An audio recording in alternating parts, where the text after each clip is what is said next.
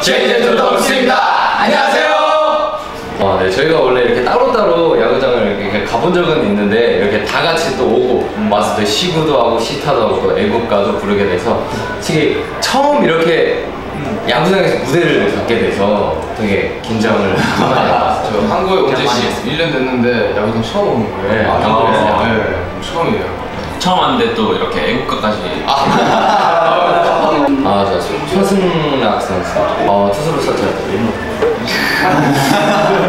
일단 지금은 비가 와가지고 조금 땅바닥 미끄러울 수 있으니까 일단 안전이 제일 중요하고요. 그 다음에 진짜 페어 플레이로 진짜 서로 정정당당하게 꼭 우승했으면 좋겠습니다. 파이팅! 넥센 히어로즈 그리고 JJCC 모두 파이팅!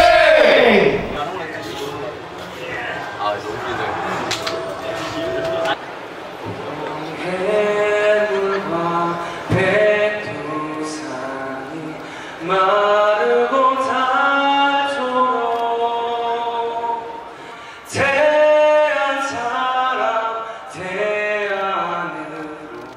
길이 보자 나세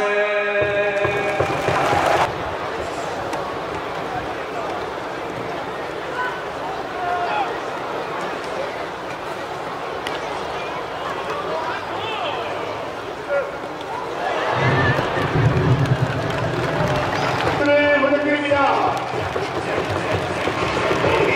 신발